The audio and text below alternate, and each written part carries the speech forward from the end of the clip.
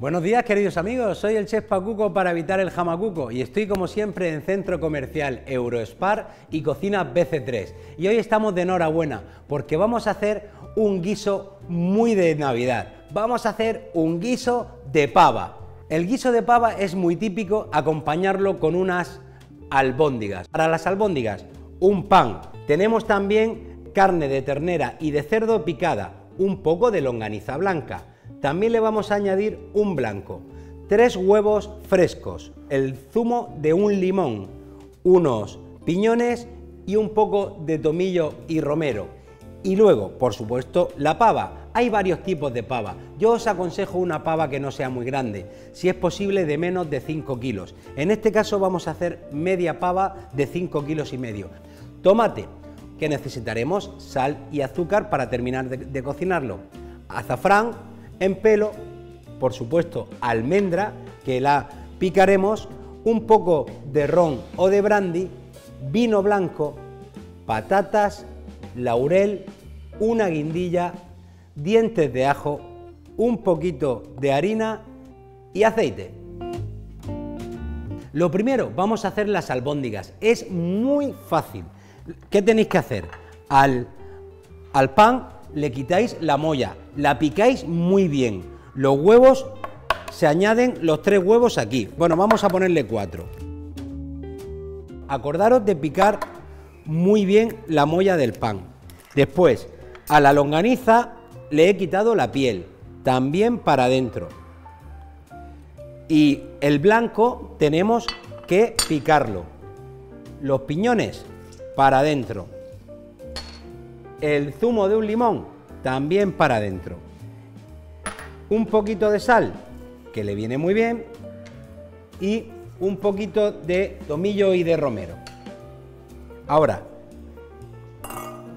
la miga del pan, que yo la he picado muy bien, la carne picada de cerdo, mitad de cerdo y mitad de ternera, y el blanco que tenemos que picar. Venga, vamos con ello.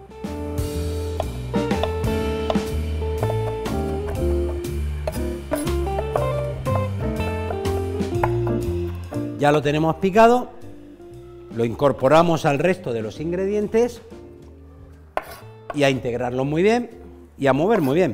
Empezamos con una cuchara y acabaremos pues con las manos, como se amasan todas las albóndigas.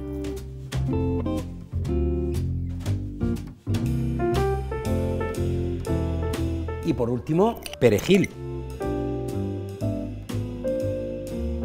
Bueno, ya tenemos nuestras pelotas, son un bocado exquisito. Vale, ya lo tenemos. Pasamos levemente por harina para ayudar a la fritura y hay que freírla muy poquito, ¿eh? de verdad, muy muy poco el aceite no muy caliente.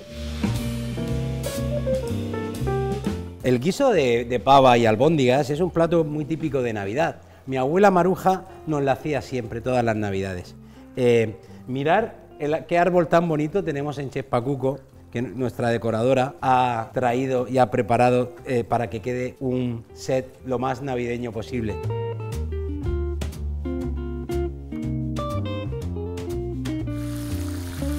Muy bien, pues pelotas fritas, ya está, es darle una vuelta nada más.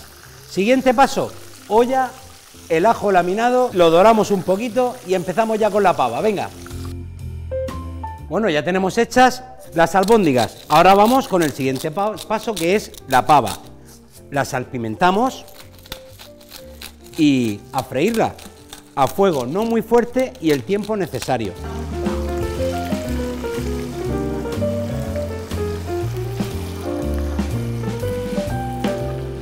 La sacamos y ya vamos a pasar con todos los ingredientes a la olla.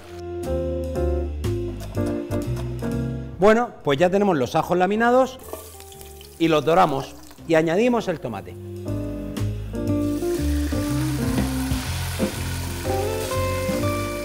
Subimos el fuego y a cocinar.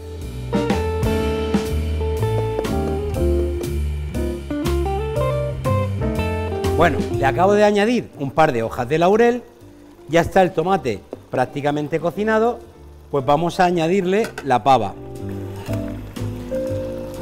Y le vamos a ayudar para que tome sabor con un poquito de vino blanco y un poquito de brandy o ron. Yo que he sido marinero le añado ron. También vamos a añadirle ahora la almendra que hemos picado y le vamos a estar cocinando unos 5 minutos. Añadimos las patatas y dejamos cocer unos 10 minutos antes de añadirle las albóndigas. Y ya han pasado unos 10 o 12 minutos desde que hemos eh, añadido las patatas, pues ya por último las pelotas. Y qué menos que unos 12, 12 o 15 minutos. Mirar qué pinta nuestro guiso de pava. Qué bien huele, solo nos falta emplatar. Bueno, pues un plato hondo y yo empezaría primero con la pava. Aquí nos cae una pelota también. Un par de pelotas. Yo pondría un pedacito, un trocito de pava y luego un par de, de patatas y como mucho tres pelotas y un poquito más de caldo. Bueno, y aquí tenemos ya nuestro plato terminado, nuestro guiso de Navidad de pelotas. Feliz Navidad, Chef Pacuco.